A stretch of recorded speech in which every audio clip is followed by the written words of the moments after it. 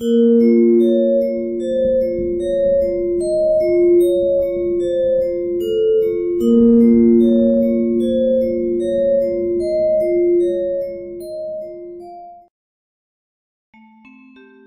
る掲示板の書き込みに殺人予告を見つけた。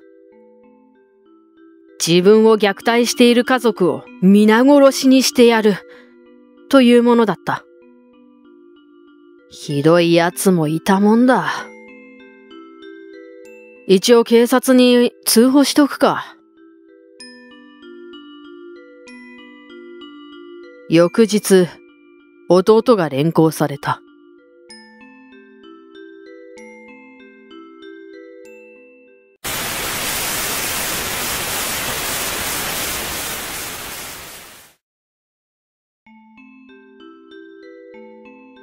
今日は父の日。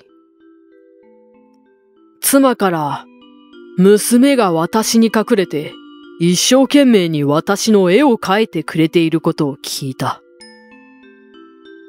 そして娘から父の日に似顔絵のプレゼントをくれた。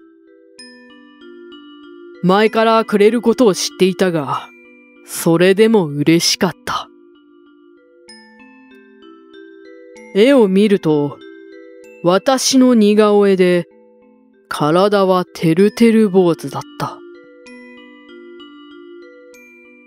娘の発想に驚いて、涙が出た。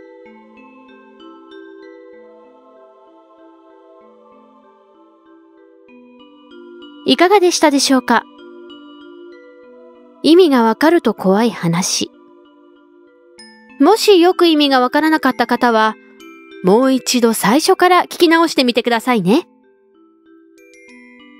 それではまた、新たな意味がわかると怖い話が生まれるその日まで。